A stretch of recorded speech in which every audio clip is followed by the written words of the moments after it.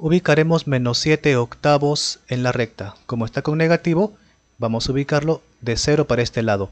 Si fuera positivo estaría para el otro.